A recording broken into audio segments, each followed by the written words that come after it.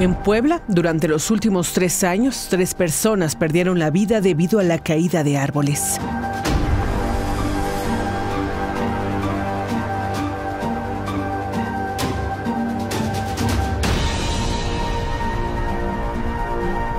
Datos de protección civil municipal señalan que desde el inicio de la temporada de lluvias en mayo, este 2024, al menos 30 árboles cayeron en la ciudad. Estos incidentes ocurrieron principalmente en Boulevard Norte, Plaza San Pedro, Capu, las colonias Bosques de San Sebastián y 10 de Mayo, además de las juntas auxiliares de San Felipe Hueyotlipan y San Jerónimo Caleras. Hay muchos factores que influyen en los ejemplares para que puedan caer por sí solos. Sin embargo, siempre signos de alerta. Grietas u oquedad en el tronco, hongos o pudrición en el tronco, ramas secas o muertas, daños por un choque, raíces visibles, huecos en la base, aunque el principal factor resulta ser la aparición de plagas. Son hongos que se ponen así literal como repisitas.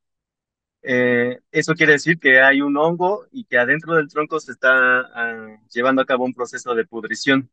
Entonces, esa pudrición lo que causa es el debilitamiento del tronco y por ende se puede caer. Es importante mencionar que un árbol inclinado no siempre puede estar en riesgo. En algunas ocasiones se trata de un crecimiento en forma natural y se puede permitir una inclinación no más de 20 grados. Estar viendo eh, si el árbol se está inclinando cada vez más.